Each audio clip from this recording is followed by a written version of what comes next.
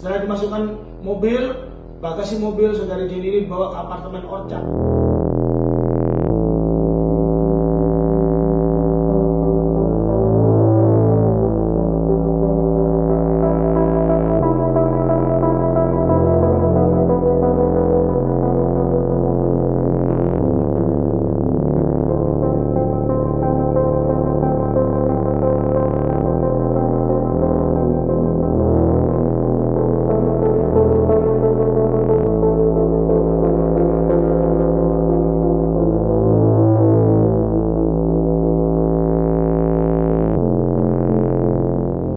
Terkait dengan kronologis peristiwa, saya sampaikan bahwa pada hari Selasa saudari Dini ini diajak oleh temannya saudara R datang ke KTV Blackgold Surabaya dan pada saat di KTV Blackgold Surabaya diduga saudari Dini ini mengalami penganiayaan oleh saudara R sehingga dia jatuh di lantai basement parkir landmark Surabaya.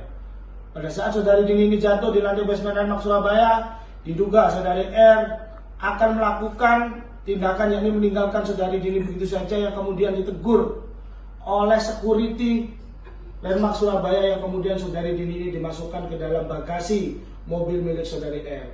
Setelah dimasukkan mobil, bagasi mobil saudari Dini ini dibawa ke apartemen Orchard dan di sana kondisinya semakin memburuk sehingga oleh saudari R saudari Dini dibawa ke bawah untuk dibawa ke rumah sakit yang kemudian ditemui oleh security dan pada saat diperiksa ternyata kondisinya semakin buruk oleh security apartemen Orchard dipanggilkan oleh pengembang apartemen di Orchard Surabaya. Security, pengembang dan saudari R ini akhirnya membawa saudari Dini ini ke rumah sakit dan sesampainya di rumah sakit saudari Dini dinyatakan meninggal dunia sekitar 30 menit sampai 45 menit yang lalu. Tentu hal ini adalah hal yang sangat tidak manusiawi, yang sangat tidak beradab yang dialami oleh saudari Dini. Dan kami tim kuasa hukum akan terus mengawal proses ini sampai dengan tuntas. Saya mohon perhatian dari kepada seluruh teman-teman media, kepada seluruh masyarakat Indonesia dan kepada Bapak Kepolisian. Mari kita perjuangkan keadilan bagi saudari Dini dan keluarganya.